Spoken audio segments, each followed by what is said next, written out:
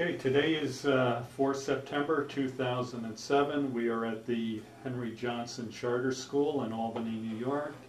And uh, the interviewers are Wayne Clark and Eric Stott, and we are doing an interview with uh, Norman Herbert. Uh, Sir, would, for the record, would you please state your full name and Um, your date of birth, please? uh, Norman E. Herbert Jr., uh, born March the 7th, 1947. Okay, and whereabouts were you born? Uh, Philadelphia, Pennsylvania. Okay, did you attend school there? Yeah, I went to uh, Benjamin Franklin High School, and I was in the 12th grade. Six months before my graduation, I dropped out. Okay, And um, I left in 19...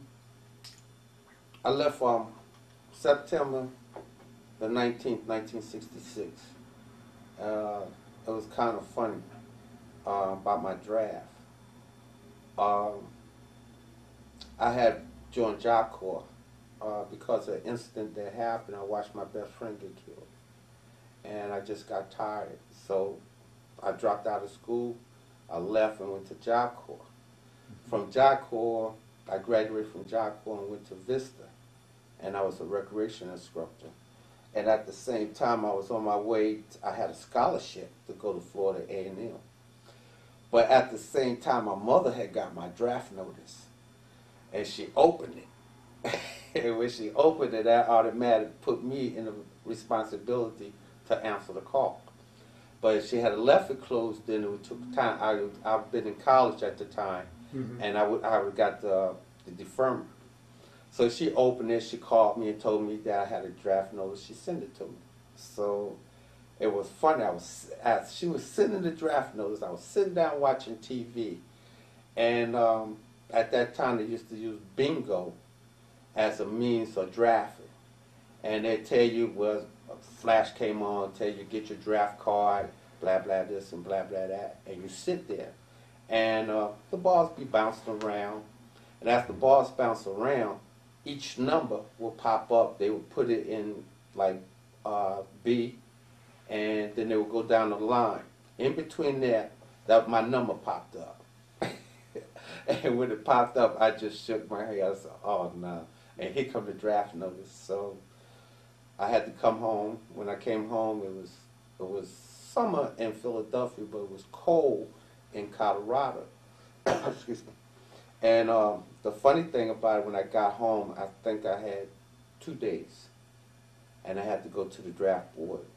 Right when I got to the draft board, they examine you. And Mhm. they um, take you in a room. You take a test. And the funny thing about it, if you fail the, the eighth grade test, they give you another test, which is a fourth grade test. And then if you fail that, then they go down and give you a second grade test. If you fail that, then they take you right out. The guys be waiting outside and take you straight to jail. And you don't you don't go past go. You go straight to jail because they know now that you are actually trying to avoid the draft. Mhm. So I wound up passing the test, and next thing I know, I was in uh, Fort Jackson, South Carolina. And uh, that's where I took my base at. That was my entry point. And then from there, Uh, Now, uh, it, it was your, um, was it an infantry basic or just a standard basic training? uh, standard basic training. And- Um, from there, I just took basic training, and then they were going to ship us out. So it took us um, eight weeks, really ten weeks, Mhm. just before um, Thanksgiving. I would finish basic training. From there, we'll go to our advanced training, whatever we was going to school or Okay, the infantry. So I wound up going to Fort Leonard Wood, Missouri, as a supply clerk for OJT. Mhm. And um, so when I got there, you know, just like any soldier, off limits. When you say off limits, it's really what is off limits. And I got busted twice on an off limit place where, you know, where they were scamming and selling alcohol and uh, prostitution. Mhm. So me and a friend of mine, uh, we wound up going to Germany together, and uh, we both got busted. and the funny thing about it, the same night they took us back to the post, we turned around and went back. and uh, and him laugh about it. And then next thing I know, the about six months, seven months later, I was in Germany, uh, and I was there in '67 and '68. I went there as a supply clerk, wound up being a generator operator because I was in a missile company. I was in Hawks, Mhm. and um, that was the same year that Russia invaded um, one of the countries over there, and we went on alert, full alert, and happened one of the German planes had flew over our area by five about five miles inside our, our kill zone. So we had to shoot it down. So they covered it up and say, well, nothing happened. Both the Russians and Americans. But it was fun though. I was like, I was five, I was ten miles from the border, the German border. Mhm. And um, after that, Now, Uh, now you were drafted for two years, right? yeah, And at some point, did you en- yeah, in Germany. okay. Um, in 19, I was in the army a year, a Mhm. year and one day. And um, what had happened, I don't know, I, I looked like I was, um, when I went in the service, I looked like I was 16. And while I was in there, I really thought about what I was going to do when I left the, the service. Because I only looked like 17. I only looked like 17, but I was 21.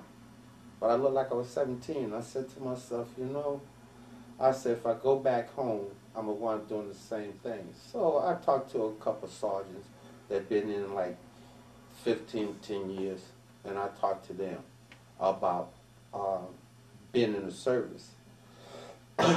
So what they said to me was, um, how long you been in? I told them a year and a day. They said, you already did. He said, rest of, rest of everything else is downhill.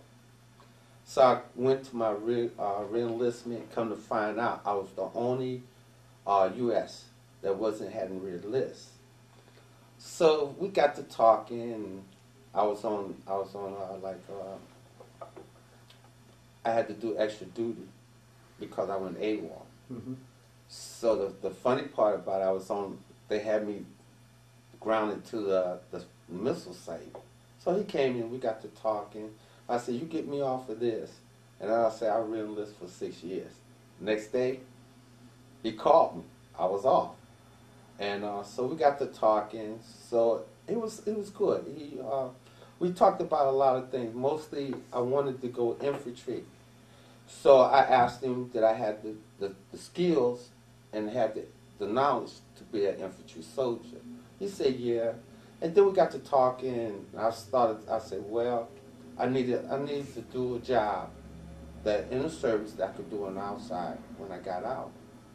So we picked photography. so out of the photography, uh, I wanted to take motion pictures because they was the hardest. And um, once you did that, you could do anything else. So I took the hardest course. So Now, now, where was was that school? this was at Fort Monmouth, New Jersey. I wouldn't go there until um, September. I would go there in 19.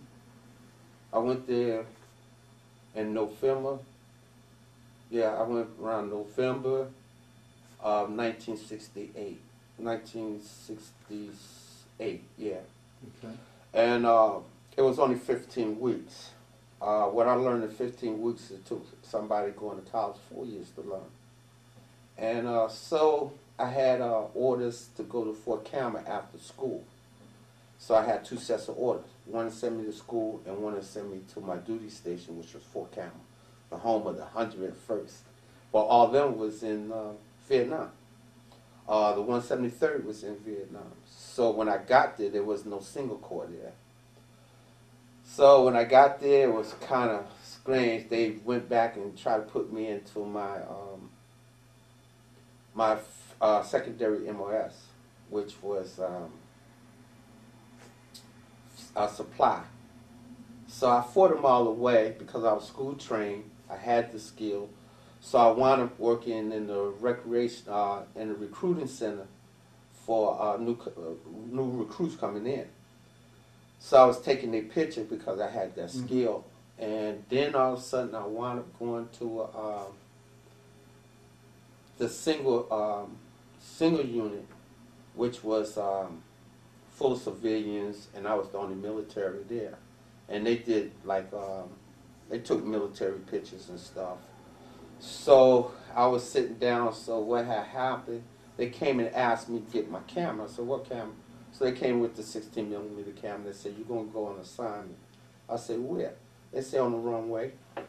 And what I didn't know while I was getting ready to film, I was getting ready to film the first National Guard medic unit that was coming back from Vietnam, and they was on their way home, and um, they lost three medics in Vietnam, and they got a whole lot of medals. So they were walking them at Fort Campbell. I wound up taking their picture and everything. They did a good job. Um, then I then they told me, well, you got to write a caption. I said, what?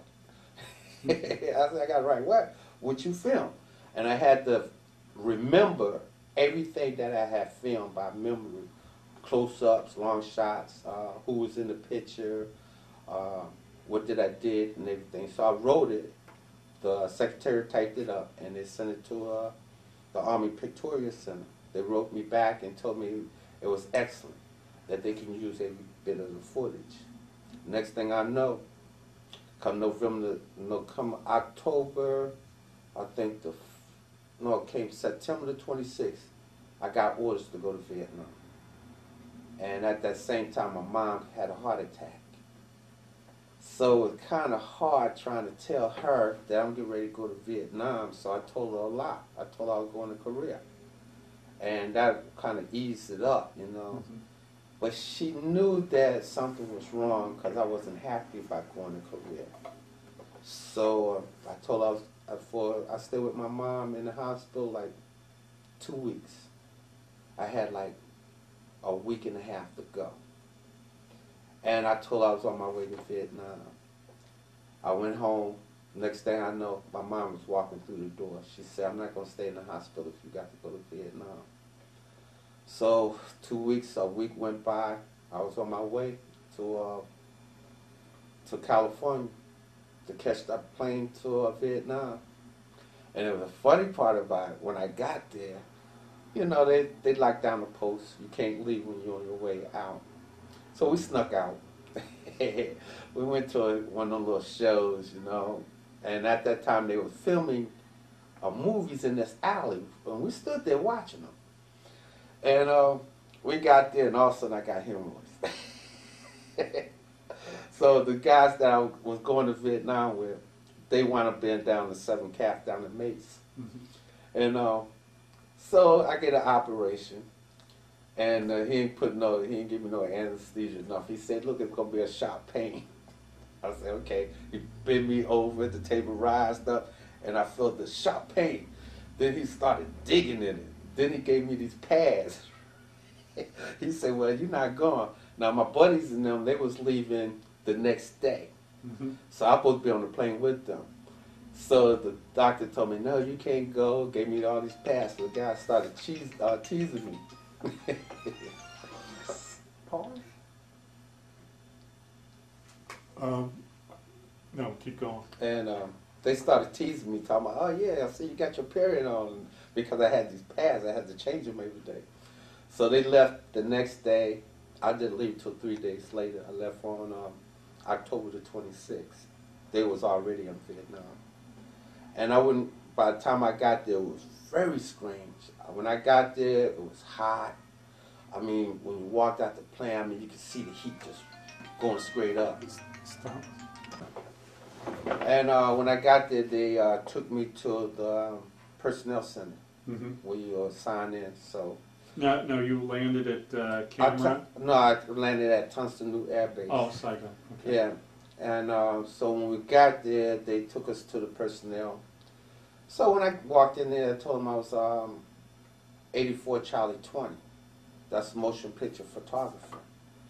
Soon as I said that, they got on the phone, called my company, and told them we got an 84 Charlie here. And um, they said, "What? We'd be down to get him." so it was another photographer there. He was a still photographer, but he was going to the company too. So all of a sudden the chopper landed. This guy got out. They had just took him out of the field. He had he had he had all his ammunition on his pack, and he was carrying a sixty. He dropped it right in the middle of the field and walked into the personnel office. They gave him his orders, and he got on the plane that I was getting off. And also, I wait for it. Here come the truck. The truck came, so they took me to the company personnel, so I could sign in. They told me you got an 84 child here. Before they even hung the phone up, the truck was there to pick me up. But what was so funny, I was the only black that was a combat photographer, motion pictures. And uh, there was this white guy and right, sitting right beside me, and we got to talking. And all of a sudden, they came and, and walked right to him and said, "You're 84 Charlie 20," and he said, "No." And the guy, so they went in there to find out who who I was. So the guy came out. He said, "Yeah." He said, "Here, here go your 84 Charlie 20," and they looked at me. They were shocked because they didn't have no uh, black photographers there. So when I got to the company, they thought it was a joke. They really thought it was a joke. And um, when I got there, it was it was kind of funny because as soon as I got there, I wasn't in the company one day. The first thing next I know, they had me in the mail in the supply room. They they were giving me all my gear. They were giving me food. They were giving me ammunition. I went and picked up my 45, and they gave me a set of orders and said, "You're moving out tomorrow." I said, "What?"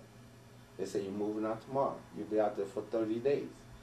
And they said, "Matter of fact, go down because we had to roll our film up into 100 cans, and you had 2,000 feet of film. You had to Mhm. roll up into cans of 100." So I did that, came out, rolled my film up, hoping that I did it right. And I did do it right. So we went out, and uh, they took me with a photographer that had experience in combat. So we, he took me kind of light, you know. He didn't really take me out into actual combat. So me and him just went wherever he wanted, met some Australians. As soon as they saw that I was a motion picture photographer, they offered me to go with them, and I started to go with them. But the guy that was um, my team leader, Mhm. He told me no, because I wanted to get right into some action. I mean, I wanted to really get into some action, some combat. So after that, we um, kind of went different places. Then I wound up going to Phu Bai, which was a support, um, a support for another uh, fire support base they were just building. So he took me there instead of combat. Now, there's no barbed wire, no Constantine, no nothing. And we standing there. They had um, three, four houses, and the rest of it was mortars. And they had one infantry unit there. And we said, and it was funny. The night that we got there, they was running minute rounds. That means every minute they was firing. Houses firing, and at about about maybe 400, about 400 clicks from where we was at, they had a battalion of VC going across our path. And I looked at them, I looked at him, and I said to myself, it was nothing to stop them.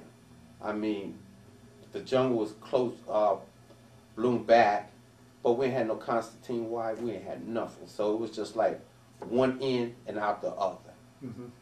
But we had the support from Phu Bai. So we, I stayed there about a couple of days. Uh, took pictures of the engineer blowing back a, blowing back a jung, jungle. Uh, then after that, we came back and um, I stand down. You have to write your captions. Uh, you got to write what's in each can. Uh, you had to use all the film up, 2,000 feet of film. You had to use it all up. So I had used it up, so I had to type that. Then I had to go reload up all my film again and get the food and stuff and new ammunition and um, turn in what I had. So you were living on C rations, basically? Yeah, that's all we ate. Uh, unless I got to a, like a, a fire support base, maybe I might get one hot meal. Because most of the time I was on a chopper going here or hopping there. So for a while, it, it was pretty good. I, I got a lot of pictures. Then the guys that was in my company, uh, they really thought that I didn't know what I was doing. And every time I would get, because when you send it off, they send you a critique of your film. And every one of my films were excellent. So I put it up on the board so they could see it. And um, I had wrote a motion picture script for the Army called uh, Million Dollar Hill. And it was about uh, a hill in, Korea. So I had sent it to the Pictorial Center. Somehow it came back to Vietnam. And I had a captain, a major, and a colonel bring it to me. And they sat down and talked to me about my script. And that's when everything started changing because now they knew that I was good at what I was doing. And then I started going with uh, different team members. I went with a sergeant to film um, the longest bridge in um, over there, uh, up in uh, what was uh, the name? They had just built a bridge up there, and because so the day I was standing on the bridge, the Viet Cong supposed to blow it up, so nobody would get on the bridge. So they were still walking on the railroad tracks. So I'm standing on this bridge, filming the railroad tracks, filming all around, up in the helicopter, filming um, from the helicopter, hanging out the door, feet waving like this. And I'm looking down 10,000 feet down at this bridge. And um, then they take me from 10,000 to 5 down to 2 around this bridge. And then I'm on the ground. And I could have did better, uh, but they didn't want me to go too far off because the bridge was supposed to be blown. I'm standing on it. They didn't want me to leave too far from my team leader. Then after that, I finished. They took me back, and I went back out in the field. Then I became a team leader, and I wound up. Um, they wanted me just before I left Vietnam. They wanted me to take a team out. I told them you're crazy. I said I got 30 days, 45 days left. I said I'm not even going out there, and I told them why, because the 101st had already left when I was. They was already leaving from the north. Uh, Metcalf had packed up and they was leaving. Uh, the 24th Infantry that was down the bottom of the hill where, where I was stationed at, Mhm. they call it Mace, they was packing up and leaving. Um, the 173rd had already gone.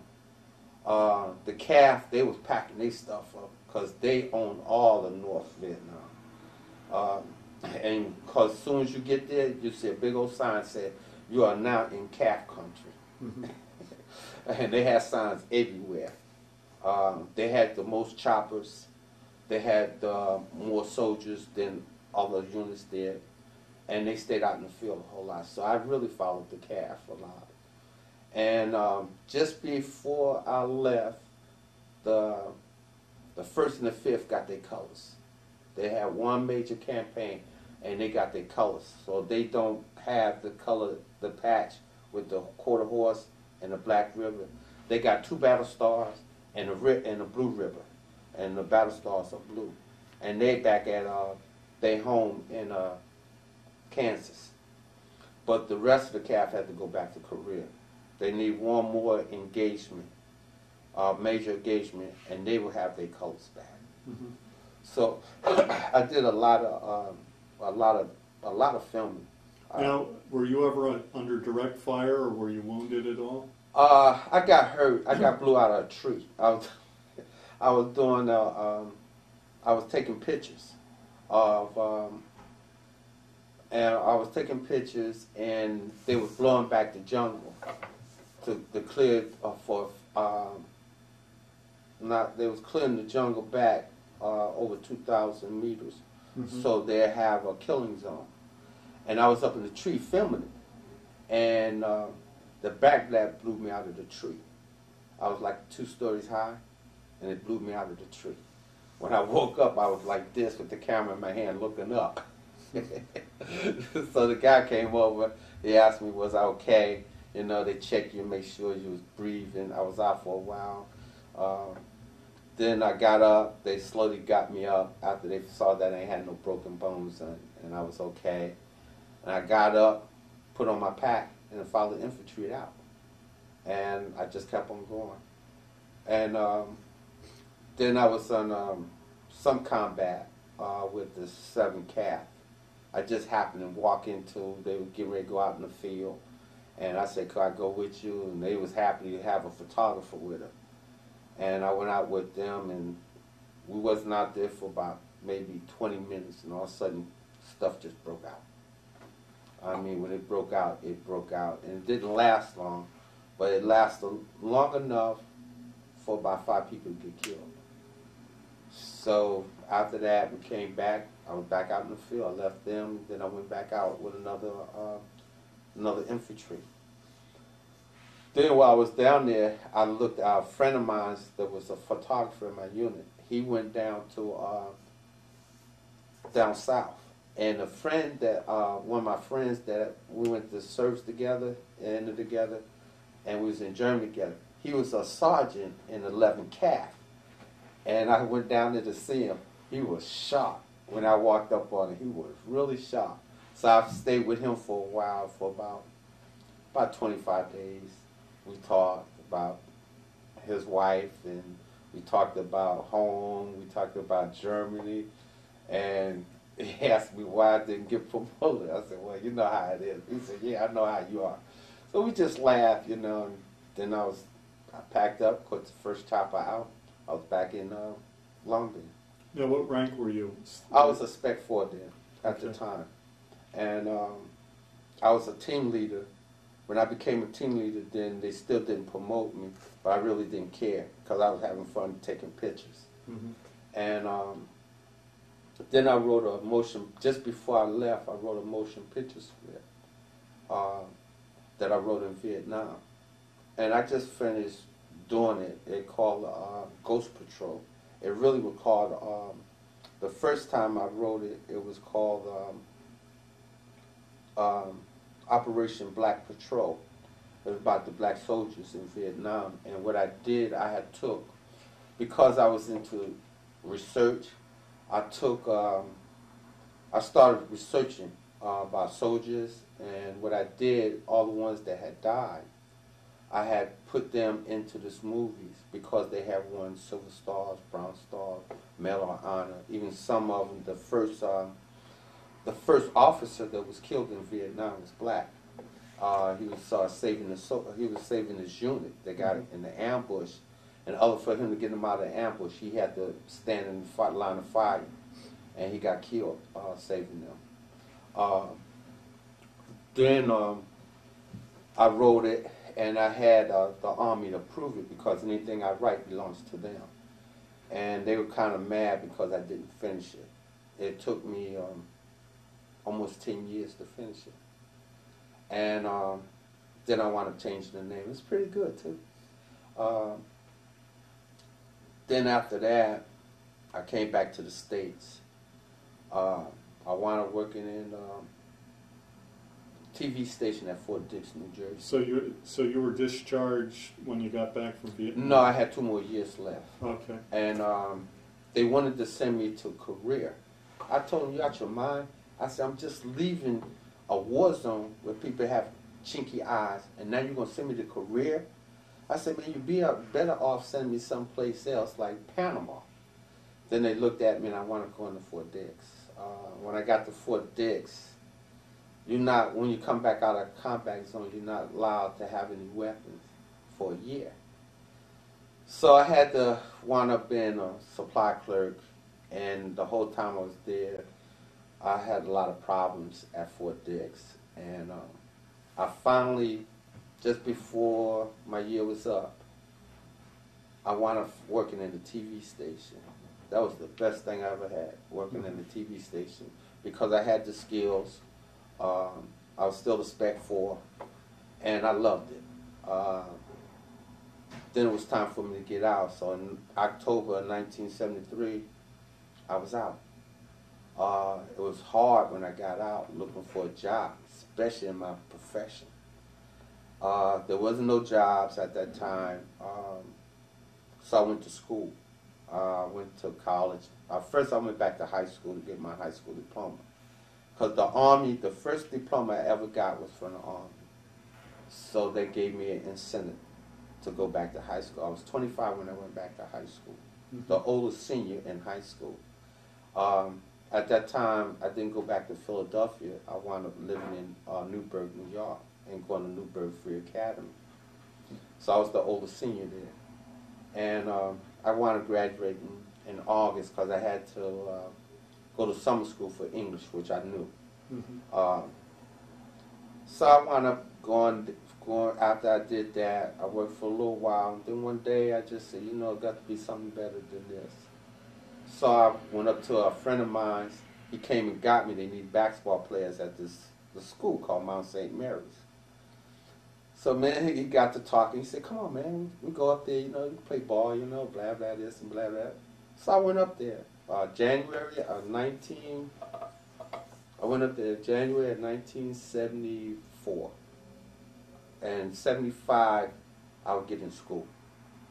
And it was funny. I never had no college courses, so um, they was kind of a Catholic school is very strange people. But the thing about it, I told her, if you give me, if you let me in here, I said, you give me my degree at the end. And they let me in on faith. And I graduated, and um, Sister Pat was my counselor, and they looked at me. And she said, You remember what you told us the first time you came here? And I had forgot all about it. They said, If we let you in, we'll give you your degree at the end. And she handed me my degree. I forgot all about what I had said to them. And they remember. Now, what did you get your degree in? Uh, history and secondary education.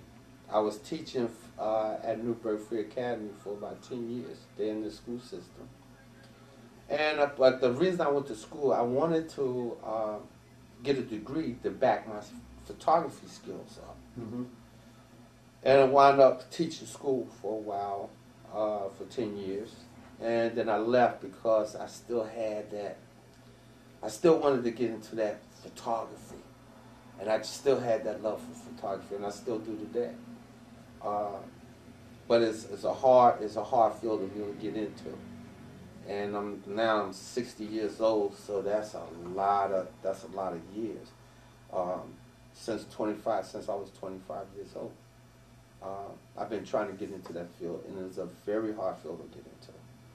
Uh, I had a lot of interviews uh, dealing with uh, photography, but they didn't want to pay me the money. Mhm. And that's how I found out that it costs with the degree and the seven years of skills that I had, I had about 10 years of photography skills, that cost me $20 an hour for them to pay me.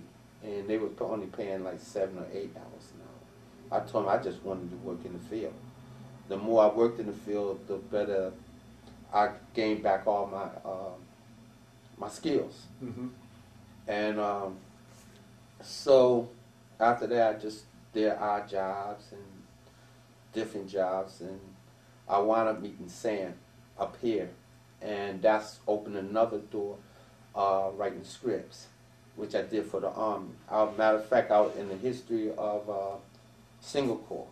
I Mhm. was the only one that got an A for motion picture script writing, and my um, sergeant my teacher, he hung it up on the wall, and he told me that I made history uh, in Signal Corps special photography unit, and that made me feel good. I graduated uh, fifth. I graduated second out of a class of fifteen. I graduated fifth out of a class of sixty-five, and uh, I was in top of my class, and that made me feel good because uh, when I went to school, there was only Matter of fact, there was only five of us. Mm-hmm. Um, there was three blacks and two Spanish speaking, and they was in the Marine Corps. So when I did graduate, it was only two of us that graduated out of the, out of 65. So it was uh, strange in in a sense because this was the first time they really had um, black photographers Mm-hmm. especially in the motion picture field. So that made me feel good. Plus, I was the only uh, black motion picture photographer that was in Vietnam between 70 and 71. So I made history.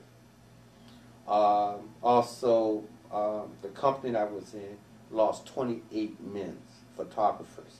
In the filming of the invasion of Cambodia in 1968, they lost them there. So that made me feel good that I was in a company that actually uh, had a, um, photographers die. I mean, they had photography had died since uh, the beginning of the war, Mhm. but this was special because it was in my time and it was in my era that I represented 28,000 men that died that were photographers out of my company, and all of them did it in uh, the invasion of uh, Cambodia in 1968 when uh, Nixon uh, gave the order to invade. So I knew how, by being a combat photographer, so I knew exactly what happened. You had uh, guys went out, the first part went out uh, with uh, advanced infantry. They had to film the landing.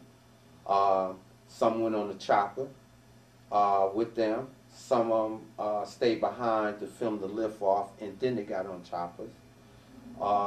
Then while they was there, they was in, I mean, they was in actually hostility combat, Mhm.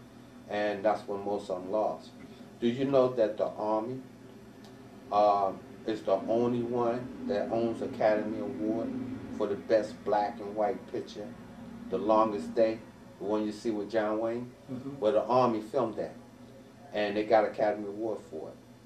And they showed the, us the film. That was the last one they showed us because you had to sit down on um, your last week of school. You actually have to sit there for a whole week, and all you do is look at film. Then you have to critique it and tell what's wrong with it, with uh, the color and stuff. And the award-winning picture, they show you last, and that was a beautiful black and white the way they did it. Um, it compared to nothing to uh, John Wayne because they actually filmed the invasion from the beaches all the way until they went to uh, to France, and they filmed that, and it was a long day too for the photographers and all, because they had uh, most of the films were taken on on rooftops, out of windows, uh, on the ground. Someone was in between with soldiers. Someone was in advanced uh, scout units. So it was a good movie. I mean, I really enjoyed it. I just didn't have no popcorn. But then they showed us the Academy Award, and I said to myself, I wanted one. I wanted Academy Award. If I can get Academy Award, that would make my day, because the Army trained me. So I know that they had the goods Mhm. to be good at it. So now, um, right now I'm here uh, in Albany uh, to talk to, about the motion picture script I, I'm doing now for Mrs. Johnson, uh, Henry Johnson, the school that's named after. Mhm. And I'm here to get permission from her so that we can push on, because see, Sam is my business manager. So everything goes through him. All I do is do the writing and the thinking, and he do the selling. So I'm kind of happy because I'm back into a field that I love. Um, and the Army taught me good. So I'm happy. I mean, through all the things that happened in 35 years, I'm very happy. Even in my golden years, Mhm. I'm happy because I'm doing something that I love doing. And if you don't love photography, and no need of being in it because you go through a lot of things. I've seen a lot of combat. I enjoy being on the other side where a dude could load up an M16. I can load a can of film that's the same fast as fast as he loaded up his M16 and remember everything that's on that can that I put in my pocket. So um, it, it shocked me. It really did. The Army really, by being a photographer, really upped my mind scale. Uh, sometimes I'll be walking, I can actually see something would be a good picture to make uh, something to do uh, because it's an art. Mhm. Photography is an art, a beautiful art. Um, even though I was on the other side of the camera instead of on the other side of the gun, you see things different. Uh, when I was in Vietnam, I saw things different because I was on that side of the camera. So you almost by yourself. You see, uh, you see a lot of suffering. You see a lot of hurt. If you're on the side of the gun, you don't see all that. But you see everything because the camera picks up everything: sadness, uh, depression, um, pick up joy, uh, happiness. It picks up a lot of things on the camera, and you experience them things through the camera, and that's what I experienced through the camera. I experienced all these things, so I had a different experience than the guy that's behind the gun, uh, tanker, um, a dude behind mortars or artillery. My experience was totally different from an infantry soldier, even though me and him was together, Mhm. but it was totally different. Because my job, my mission was to film for the Army, train, they use training film as a means to train today's soldiers. Uh, what mistakes you made as an infantry soldier, uh, what you didn't do correctly. Uh, all these films went to the archives. And as they go into the archives, they bring them back out, use them for training film. So the soldiers of today, which is in uh, Iraq and overseas, well, they learned from the mistakes that was happening in Vietnam. So they are more ample to do better because the training films. Um, training films are very important for military. I mean, if we ever go back to Vietnam, I know my stuff is coming out of the safe. And uh, when it come out of the safe, they're gonna look at it because there's a lot of stuff that I have filmed that they can actually use as um, advance to go into Vietnam if they want to sneak back in. but thanks to the uh, the veterans, Vietnam veterans, they opened the door the front way and made it so that they feel the vet the Vietnam veterans feel that if we go back to Vietnam, that'd be a healing point for us, and it'd be a healing point for Vietnam. So they opened that door, and thank God they did, because a lot of veterans have been going back to Vietnam. Uh, also, they've been over there looking for MIAs, because a lot of bodies were just left. Sometimes you couldn't carry that body with you. You had to leave it. Sometimes you was on the run. Somebody would get killed. You had to leave it. So between years and animals, all you got is the skeleton, maybe one dog tag. But it's, uh, and I, I'm kind of glad that the door is open because that gives them the opportunity to look for these soldiers, even if it's nothing but their dog tags. And that way the United States can count for everyone. Mhm. So it's uh I thank uh you know, I thank the Lord for a lot of things that I made it back safely. And even now I get a chance to uh talk like talk to a lot of veg, uh, vet, veterans. Special ones that are Vietnam veterans. They still having a lot of problems. Uh, they still have flashbacks. A lot of them don't want to come to the VA uh, because of the reputation. A lot of them just don't want to deal with it. And not knowing that you still got young men out there from Vietnam that still need a lot of help. And a lot of them don't know what's wrong with them.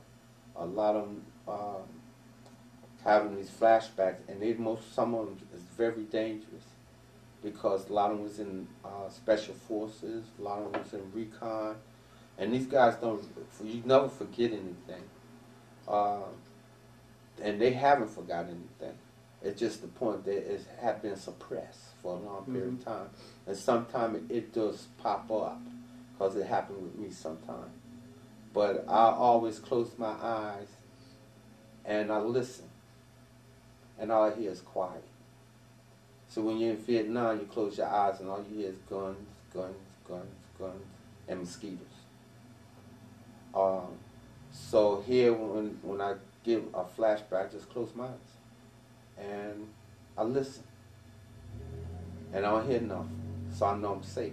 I'm at home, and as long as I keep that down, I'm okay, because I know as long as I'm home and I don't hear nothing, I know that I'm not in a combat zone. I'm not in a war zone, even though you got a lot of stuff going on in the in the in the country, but it's never like a war zone Mhm. because 24/7 you on guard 24/7 all the time. Uh, wherever you walk, you can get killed. Wherever you ride, you can get killed. You don't know who your friend is or who your enemy is. It might be your hooch mama. Or it could be uh, the guy that's out there cutting grass. Uh, it could be somebody in the kitchen. So you really don't know who your enemy over there because they they wear many faces, not many hats. They wear many faces, but the faces are still the same. So you always have to be aware. I mean, one minute they washing your clothes, next minute they're setting mines out. So it's always was a constant being on guard. But outside, I mean, some people say they had bad experience. I had bad experience, and I had good times over there. I mean, who could ride in Vietnam getting high and ride uh, the cab all the way to Da Nang in the middle of the night? you know, I mean, there's times that uh, go to Saigon and be in um, be in the bar and come ten o'clock. Everybody have to be on the base. You still in Saigon come the next morning, and the cops knock and the MP's knocking on the door and asking, "You got any uh, soldiers in there?" And they saying, "No, you upstairs sleeping." so it was um, it was good times. There was sad times. There was sad. There were sad times, good times. There was also uh, times where you wish you was home. Mhm. But then it was good times. I had good friends. I had uh, a lot of guys that I, I got to know, uh, spend time with. Uh, a lot of them came back. Um, guys that was um, friends that I seen die. Um, you know, I, uh, Vietnam was really a mixed feeling when you're a cameraman. Um, when you're a, a combat soldier, it's different because you got to you got to hold back your tears, you got to hold back your feeling, you got to be cold. You got to leave that body on the ground, and you got to walk on, because uh, you're just another soldier, and you got to do your job to stay alive so that you can go home, not in the body bag, but on the plane that you came on. And being a photographer, I can show that emotion. Um, I had to sometimes suppress it, but then I ask. Sometimes you ask yourself, what you you here for, and why you're here? Why so many young soldiers are dying? Cause see, when I got there, I was a young man. I was like, I was only 22, Mhm. and by the time I came home, I was 23. Totally different than when I got there. Um, when I got here, I saw things different. Um, but things, things had not changed in the time that I went to Vietnam and came back to the to the states. Nothing, everything was still the same. The only thing had diff was different. The um, people that I grew up with, most of them were dead behind drugs, or gangs. Uh, new generation that didn't know me. I was um, a different person in a way that I had noticed that I had changed. Things had stayed the same, but I had changed. I had became a different person. And um, I realized that um, I had to go someplace quiet. Because at that time they wasn't uh, into uh, rehabilitation. They wasn't even, they didn't even know that uh, anything about um, uh, PT, uh, post-traumatic stress. So they didn't know nothing about that. So 20 years of my life, I had to deal with it. And I have, sometimes I would go into depression for long periods of time. And I didn't understand it. There was nobody there to tell me. By the time I went to college and learned, had Psych 101, I knew what was happening. So college kind of helped me understand me. Uh, then after that, I started recognizing the problem. Then at the same time I started dealing with it. And um, I started actually um, start writing. Writing was uh, a means to um, forget everything, but remember it all. And um, as I started writing, things started disappearing. I started enjoying writing. I started reading more. Uh, I started doing research, and um, next thing I know, I was writing, and that was a good thing for me. Mhm. Uh, then I started doing a lot of research on uh, writing motion picture scripts. Uh, and as I started writing them, I started realizing that the best thing was to put my thoughts, my imagination, my ideas on paper. And and maybe, you know, people like entertainment. Uh, they like uh, history documents. So I figured, why not put it all together and maybe write one of a script that I can win a Academy Award because I came from one of the best schools. And uh, that was my goal, to get Academy Award. But to do it, see, uh, by being in the service, that was my greatest incentive. When I saw them winning the Academy Award, I knew that I could do it. So I'm still trying. And eventually, soon or later, I'm hoping that I, one day you'll see me on the red carpet. You say, you know, I got his interview. I hope so. you know, and I made it. You know, um, and that's um, my main goal now. And I got the opportunity, so I'm just smiling. See the big old smile on my face because that's something that I love doing, writing, reading, research. So I feel good about that because I'm. It's like putting your foot in some place that you've never been and now I got the opportunity to do it. And uh, I'll be a failure if I don't do it. And I only fail myself. So I keep pushing. I keep pushing. Now I'm here. Look at look at. I, I I'm so happy. Look, I'm getting interviewed. I'm standing here in a school that I wrote a uh, motion picture script about the man, and I talked to his his granddaughter. I mean, what more can you ask? From Vietnam from 1966 to now, I think I achieved a lot. Not to be running around, sitting in jail, uh, sitting in a psych ward, or running around here just nuts. So, in a, in a sense, the service helped me. It helped me be disciplined in my life. It helped me get a direction. And I haven't stopped. So, I feel good. Right now, I feel good because I came a long way. But just to be sitting here. Okay, well, thank you very much. Uh, thank you. and maybe